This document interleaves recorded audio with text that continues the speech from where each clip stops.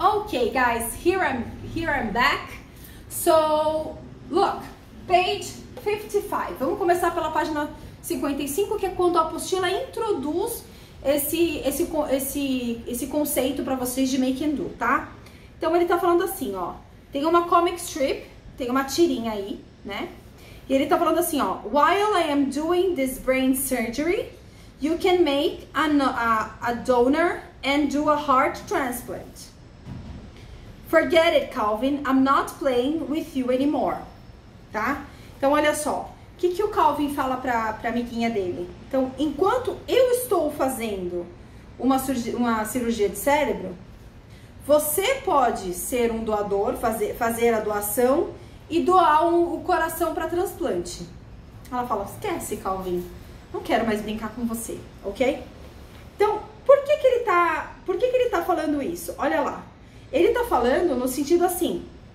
É, ele não está. Uh, ele não está criando um cérebro, ele está fazendo uma cirurgia. Ó, jobs, tasks, work, ok? Então, tarefas, trabalho, tudo isso, do. E make a transplant, ok? Uh, make, a, make a donor, ok? Uh, conseguir um doador, fazer uma doação de um coração, você vai tirar. Então é alguma coisa que você vai criar, ó, criar e produzir, beleza? Vamos colocar aqui então na regrinha, ó, we use the verb, a gente usa o verbo do to express daily activities or jobs. Olha aqui, eu coloquei isso aqui, aqui. Então, a gente usa o verbo do para falar sobre atividades. Ó, do. Also we use the verb do, a gente também usa o verbo do quando a gente fala sobre coisas no geral, tá? É... Quando nós não fazemos exatamente o nome de uma atividade. Aqui, ó. Do. Uh, nesse caso, a gente usa algumas palavras como something, nothing, anything, everything, do anything about this vou fazer nada com relação a isso, tá? Use the verb make. Aqui, desculpa. Make. Use the verb make to express an activity that involves creating, que envolve criação ou construir algo que você pode até tocar, beleza? Ok. Então, respostas da 55 desse exercício aqui da gramática tá o quê? Do, do, make. Right? Great. Eu falei, inclusive na apostila, ela também dá para vocês algumas expressões com make and do. Tudo bem? Só dá uma lida aí, fica tranquilo, vai... É uma coisa bem intuitiva, tá? Se você entender o, o, o, feeling de usar, você vai conseguir usar numa boa. Language usage. Então, vamos para os exercícios para a gente saber o que, que a gente vai preencher. Então, forma correta do verbo do or make. Pessoal, podia ser no simple present, he, she, it, vira does. Podia ser no make, que vai virar no passado, que vira made. E podia ser no he, she, it, que vira makes. Tem que tomar cuidado com isso. Podia ser no ing, doing, tudo bem? A gente vai, a gente vai explorando as, as frases aos pouquinhos. Can I? Bom, sugestão. E aí? Você vai make, right? Can I make a suggestion? Uh, why don't you finish your work, your homework before going to the club? B. My daughter, minha filha. E aí? Excellent job. Job. Excellent job. Did. Ok? Ela fez um excelente trabalho. Last week. Ok? Quando você lê last week, você já sabe que o verbo está no passado.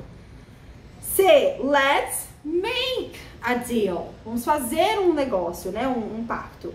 I will do the cooking, but you will do the dishes. Por que do the dishes, que é tipo lavar pratos? Porque os pratos estão prontos.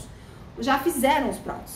O que você vai fazer é só lavá-los. Você não vai criar o prato do nada. Você não vai pegar a porcelana e ir lá na fábrica e fazer. Você vai só lavar os pratos que já estão feitos, já estão prontos, tá? D.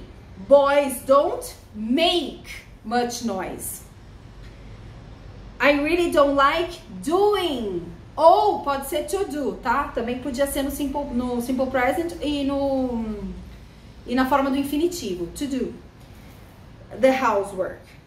F. After making several attempts. Então, depois de tentar, está tentando, ai que feio, tentando fazer algumas tentativas, making uh, to enter university, she finally succeeded.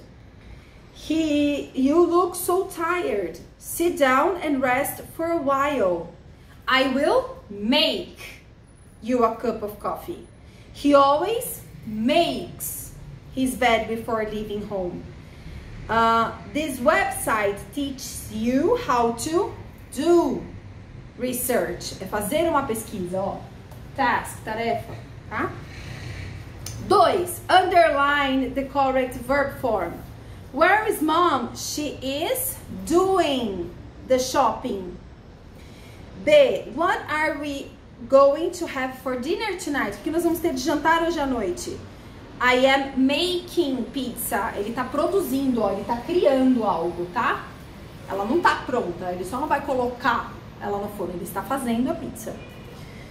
Hey guys, you're so quiet. What are you doing down there in the garage? We are trying to make a new bicycle. Então eles estão criando uma outra bicicleta. Então, eles estão fabricando como se fosse uma fábrica. Eles estão pegando as bicicletas velhas que eles têm e eles estão montando uma nova. Isso não se faz do nada. Eles estão construindo uma, uma, uma bicicleta.